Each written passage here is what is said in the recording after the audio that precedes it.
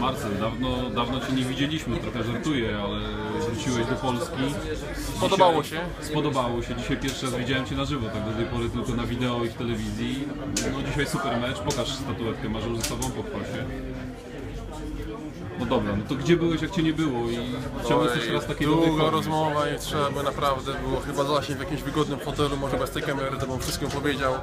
Ciekawe historie z dalekich krajów, no ale w końcu wróciłem na własne podwórko. Jak Ci się podoba Plus widzę jak ona się zmieniła od tego co ostatni raz tu widziałeś? Siatkówka taka sama, takie samo. Siatka, jedna piłka, Tak, po sześciu, więc jakby tutaj nic nowego nie odkryłem. No.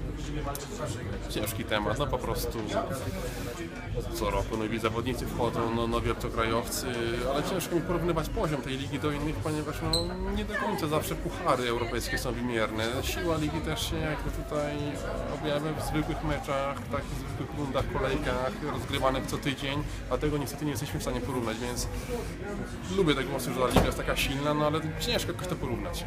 A jak Ty się czujesz w Lubinie, w tej drużynie, z tym trenerem, Jak widać dobrze, tutaj właściwie od pierwszego tygodnia się bardzo wszystko fajnie zazębia, wszyscy się właściwie znają, część tylko chłopaków tutaj, e, ci co przede wszystkim tak grali w tam- tamtym roku, tych wcześniej po pierwszych ligach, to, to może mniej tam znam, ale to po pierwszym, drugim tygodniu już wszystko było mi znajome.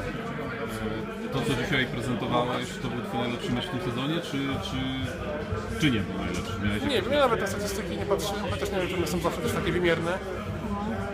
Staram, w każdym meczu staram się, no są są lepsze.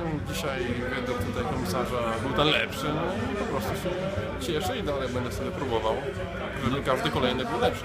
No dobra, playoff, czyli ósemka, to jest Wasz cel realny, patrząc po tym, co dzisiaj pokazaliście? Eee, taki trochę niespodziewanie szybko wygrany mecz. A, 3-0 byśmy i 3 punktów ciemno nie brali jadąc tutaj. Eee, bardziej żałujemy, że z takimi zespołami typu Warszawa czy Kielce oddajemy komplet bądź, bądź tam jakieś, punkty, a tutaj wygrywamy no, za 3-0 taka mała niespodzianka.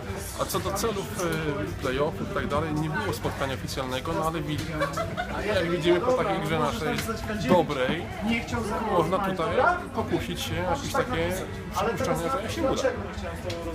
Dzięki. Dzięki bardzo.